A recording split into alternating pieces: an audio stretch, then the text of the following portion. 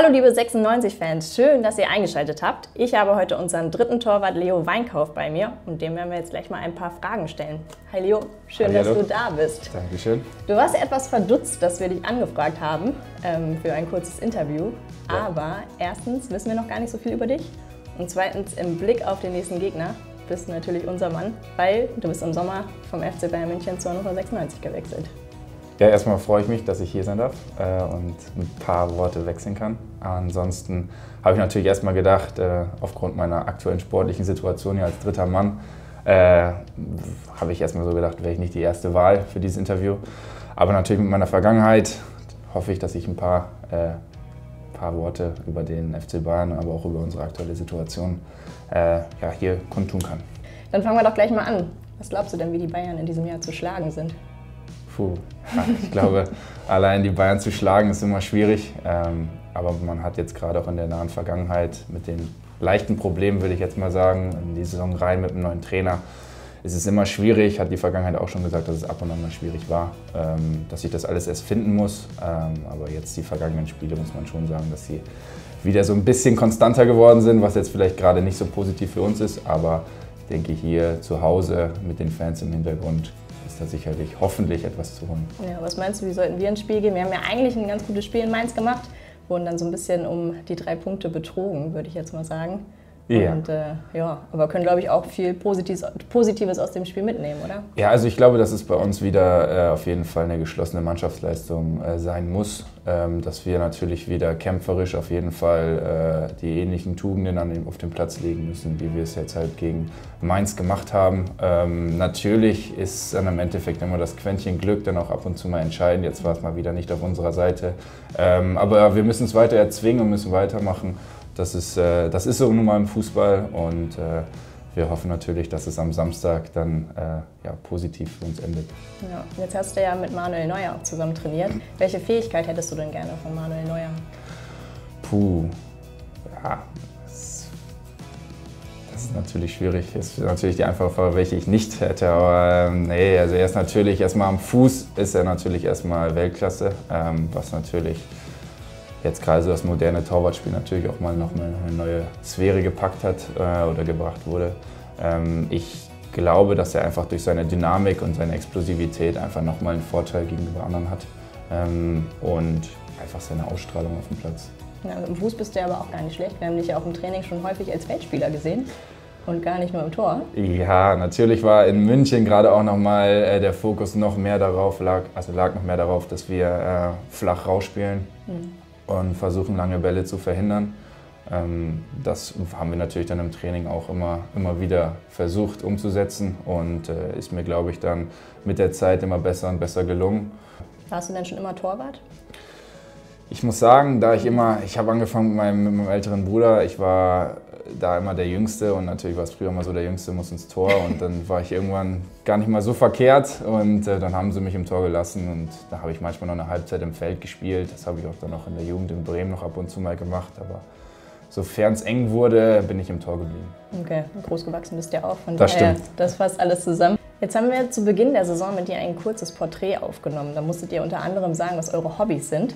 Das habe ich mir nochmal angeguckt und du hast unter anderem angegeben, dass du gerne angelst.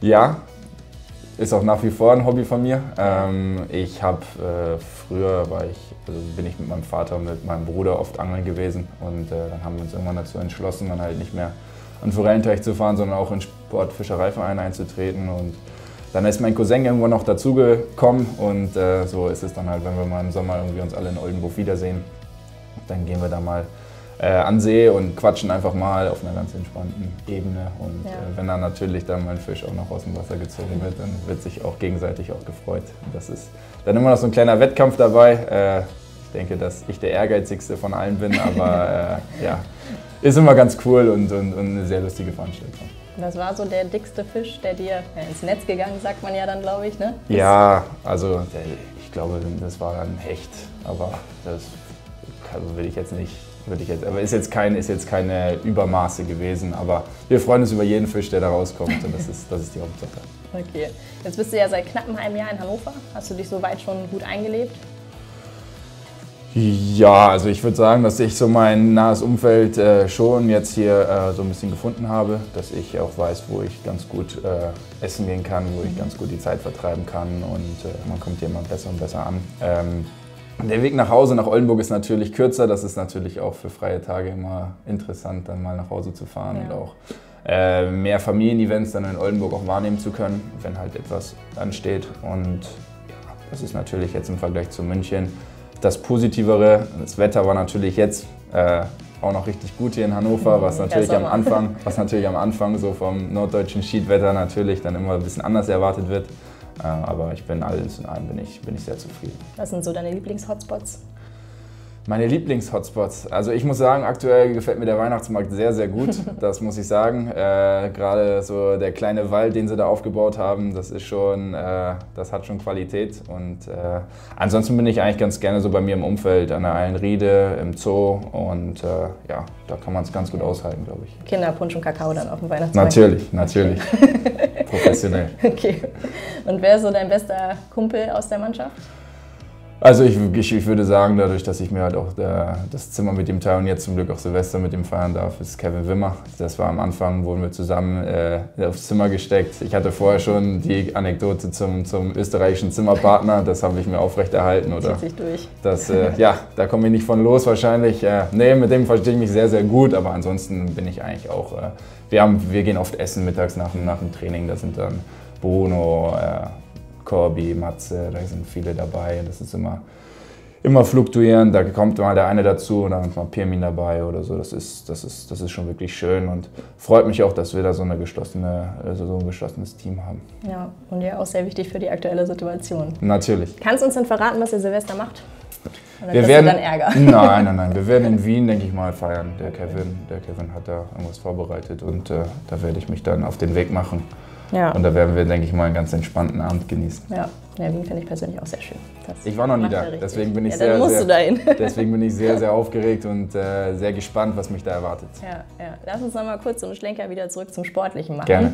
Ähm, du hast es ja auch schon so ein bisschen durchklingen lassen. Also du bist als dritter Torwart nach Hannover gekommen, spielst ja in der zweiten Mannschaft Stamm.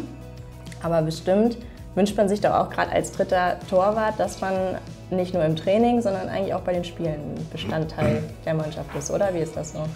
Ja, natürlich ist es das Ziel gewesen von Anfang an, hier den Profivertrag zu unterschreiben. Und natürlich habe ich mir hier auch die Chancen ein bisschen besser eingeräumt, äh, wie jetzt in München, um den Vergleich nochmal zu ziehen. Und äh, natürlich mit dem, mit dem norddeutschen Vergleich ist es immer schön, Hannover gehört in die erste Liga und wir werden sicherlich alles dafür tun, um das in der nächsten Saison auch noch zu, zu realisieren. Und dann wird sich eh zeigen, was, was dann äh, wie dann der Kader aussieht, wie dann die Kaderplanung ähm, aussieht und welche Rolle ich dabei spielen werde, das liegt dann erstmal schon in meiner Hand, was ich im Training mache, aber ähm, dann auch bei den Verantwortlichen, was sie in mir sehen und welche Vertrauen und welche Wertschätzung sie mir dann zukommen mhm. lassen.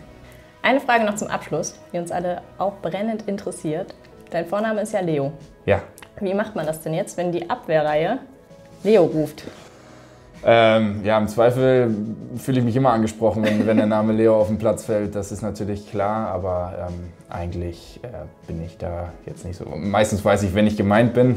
Aber ihr müsst euch irgendwie absprechen. Oder? Ja, aber so ansonsten gibt es da immer meiner oder in der zweiten Mannschaft ist dann immer die äh, Eins, wenn, wenn jemand irgendwie den Ball haben will. Ja. Alter, da hat man auch andere äh, Synonyme für Leo, äh, okay. um, da, um da die Kommunikation halt trotzdem äh, ja, aufrechtzuerhalten. Okay. Na gut. Dann war es das an dieser Stelle. Vielen, vielen Dank, dass du dir die Zeit genommen hast. Danke. Wir wünschen dir auf jeden Fall weiterhin viel Erfolg hier in Hannover und eine schöne Weihnachtszeit. Dankeschön. Wie wirst du Weihnachten verbringen? Weißt du das schon? Ja, ich weiß es. Äh, wir haben äh, uns mit der Familie äh, haben wir beschlossen, dass wir eine Kreuzfahrt machen, die Kanaren ein bisschen bereisen und dann bin ich danach den Feiertagen wieder, wieder hier in Hannover und dann geht es halt nach Wien. Na schön, dann ganz viel Spaß dabei. Dankeschön. Wir sehen uns bestimmt bald. Ja. Und liebe 96-Fans, schön, dass ihr zugeschaut habt. Wir wünschen natürlich auch euch eine schöne Weihnachtszeit und ähm, ja, wir sehen uns bald wieder auf 96 TV.